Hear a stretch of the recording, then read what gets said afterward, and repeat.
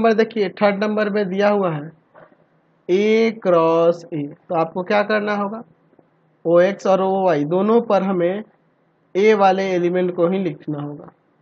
ठीक है? ध्यान से देखिएगा। इस पर हम लोग ए सेट के एलिमेंट ही लेंगे।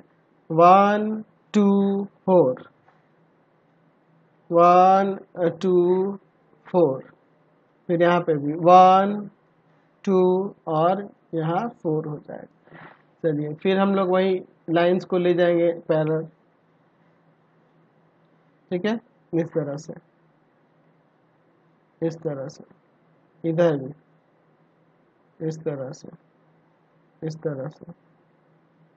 फिर आपका इस तरह से।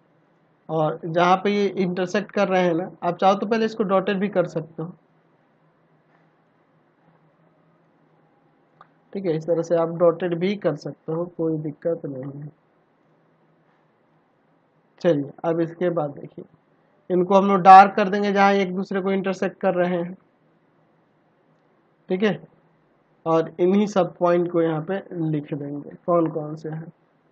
इनका कोऑर्डिनेट यहाँ पे वन वन ऑर्डर पेयर में two one four one one two two two four two one four two four four four समझ गया ना? तो इस तरह से ए क्रॉस ए का ये ग्राफिकली रिप्रेजेंटेशन हो गया।